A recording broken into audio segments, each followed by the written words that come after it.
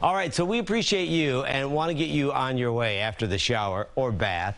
It's quiet, okay? Impulse number one, kind of a mess. We have some cold air, we've got some freezing fog, we've got some nasty weather there, then a break, then another system. Both these systems have us in their sights, but they weaken as they head our way. Let's spend some time with the typically aggressive European model. Today, fine. Really no issues. It's just cold. Clouds fill in.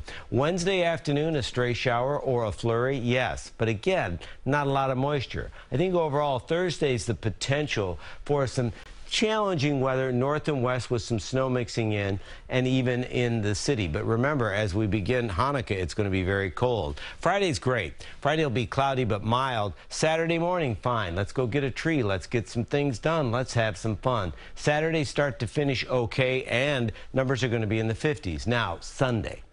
Sunday morning, Advent again, so we have a lot of folks running around, which is great. I love it.